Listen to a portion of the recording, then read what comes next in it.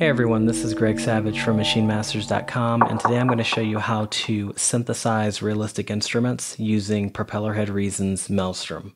Now, the instrument that I'd like to replicate is called, and forgive me if I'm saying it wrong, I think it's a Shene or a Shenei. It's uh, I, I think it's more like an Indian type of oboe, but it has a really edgy reed to it. To me, it sounds really intriguing, and I think it'd be kind of a challenge. I, I think that half of it's going to be finding the right texture, and the other half is going to be kind of playing it realistically. So, anyway, this is what it sounds like.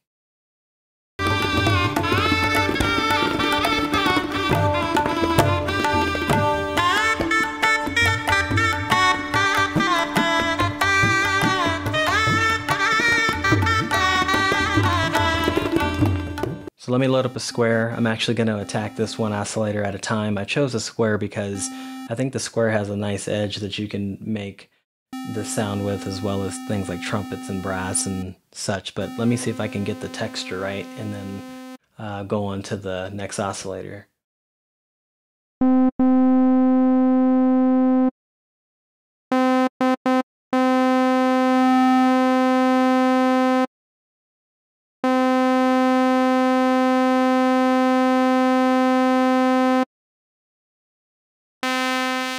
And you'll have to excuse me, this is actually how I sound design. I just keep pushing the key down and listening to the sound until I get the, the texture right, so.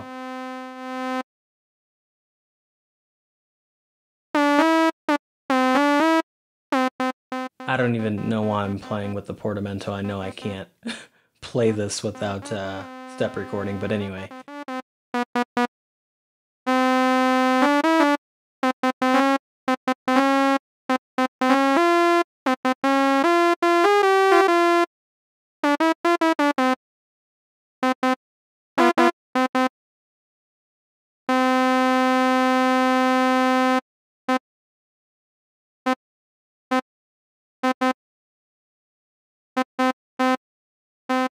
Now I'm going to mess with the modulation to kind of get the the realistic uh, fluctuation of the voice because when it's played, you know, it's not a tone that's um, going constantly. There's a little modulation because the player is running out of breath and he's breathing in and etc. So I think the uh, messing with some modulation can help emulate that a little bit.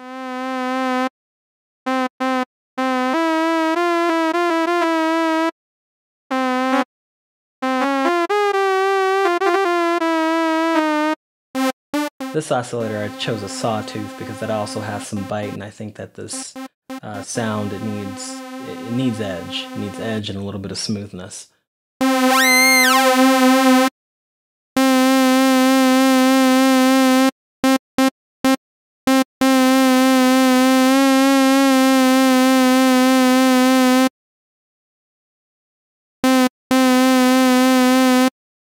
Now I'll come over here and adjust the filter to tone it down a little bit.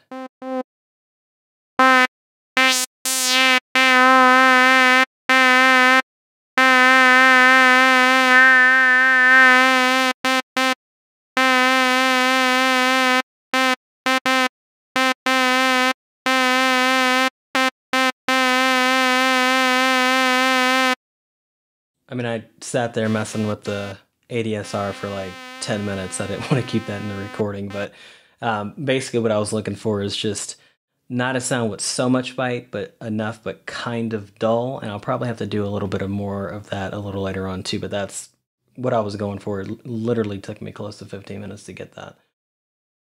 Okay, so that's that's close enough. Um, what I'm going to do now is kind of tweak it up with some reverb and uh, probably mess with the EQ a little bit.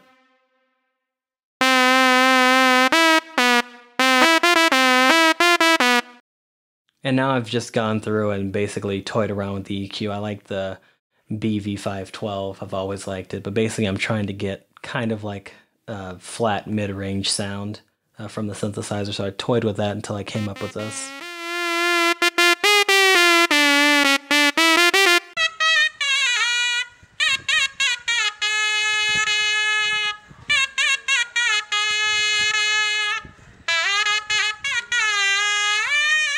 Then at the end, I mean, I, I wound up just uh, taking more EQ to it and taking more bite out of it, and then I literally had to click in this little bit because I can't play that fluently, but I think it sounds good.